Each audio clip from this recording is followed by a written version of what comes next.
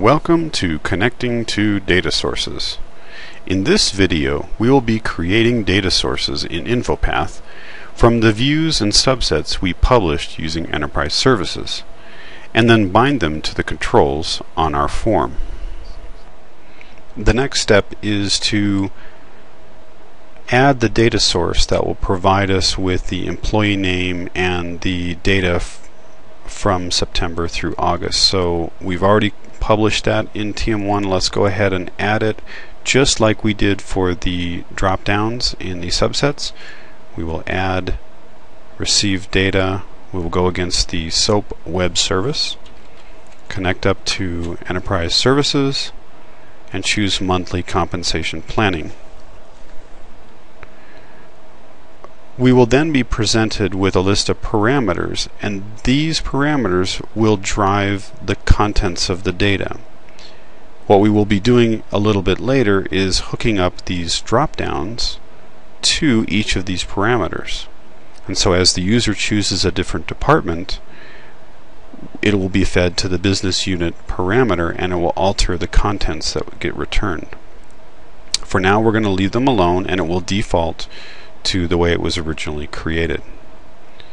Again, we do not want to store a copy in the form, but this time we do not want to automatically retrieve the data when the form is opened because we're going to control that from when the user finishes the selection criteria. So we're going to uncheck this one and choose Finish. Now, whenever you add a data source to an InfoPath form, what gets created is in this fields list is a separate section for each of the fields that you're bringing from your data source plus main which are all the ones that are living right on the form itself. And so you'll notice now that we have a section called monthly compensation planning and if I choose that you'll see it the list of fields are broken out into two groups. The query fields and the data fields. The query fields are what we saw earlier when we first set up the secondary data source. And if we fill in values for these and rerun the query, the results will come back relative to those values specified. So if they change the business unit or the year, it will show up the data corresponding to that. Now, in the results that Enterprise Services returns, you will see that we return in the data what version and business unit that was selected and pulled back, as well as a row set which contains the set of rows that will be returned, which we will use in a repeating table.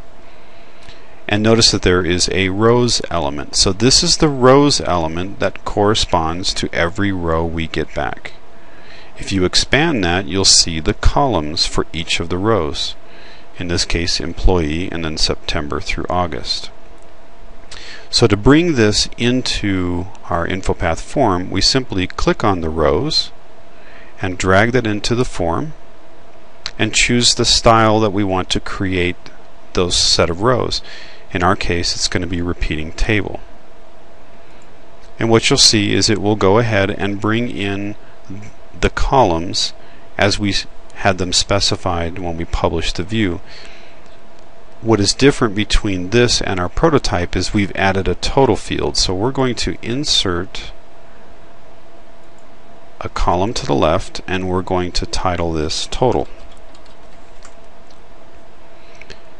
Now also you'll notice that in our prototype we had a different sizing for these fields so we need to adjust these accordingly and this is again done the same way. We highlight all of the columns. We right click and choose table properties column and we set all of those columns to a size of 60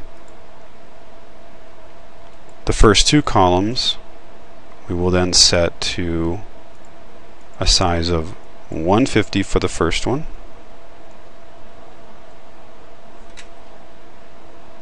Let me make sure I'm in that column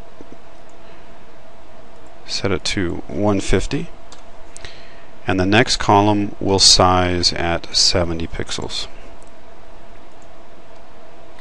That should look then very close to what we had in our prototype. Now the total that we're missing here, we're going to be calculating later. The other pieces that we need to take care of on our prototype is these drop downs that we created were given generic names as we just added them to our form. Field 1, Field 2, and Field 3. You'll notice that when I select these in the fields list, it highlights which one they correspond to. So let's give them proper names. We'll call this one version. Field number 2, we'll call this one department. And field number 3, we're going to call year.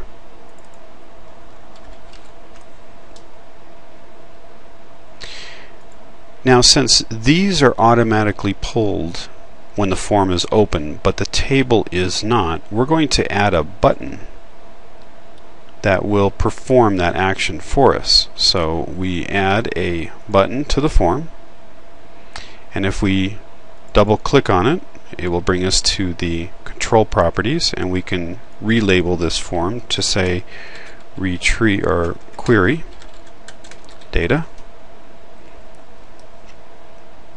And now if I click on the rules, I can associate some rules for when the user presses the button. So let's associate some rules now.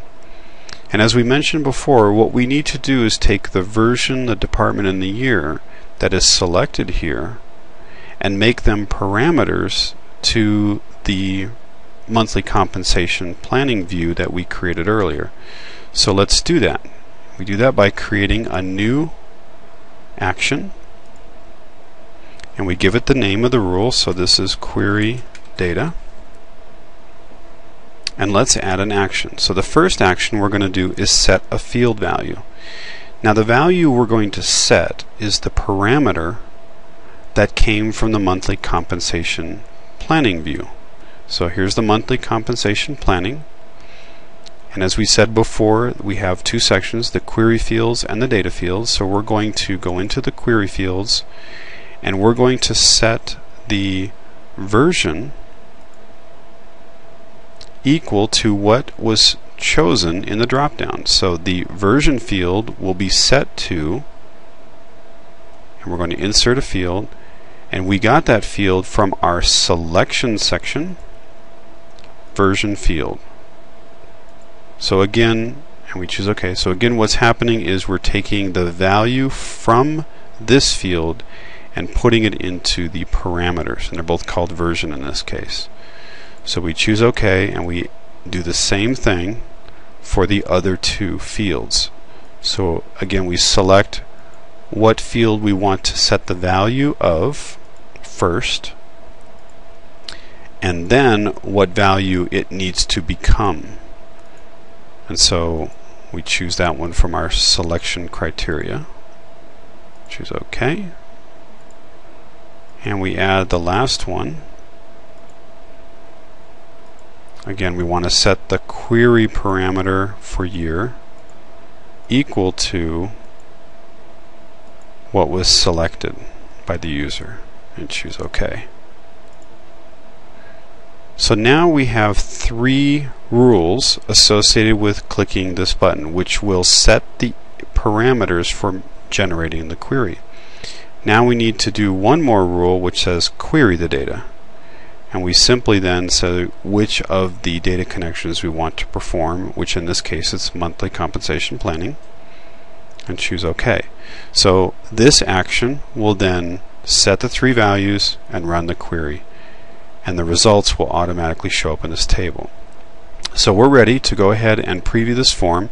Let's remove our prototype for now off the form and we'll go ahead and preview.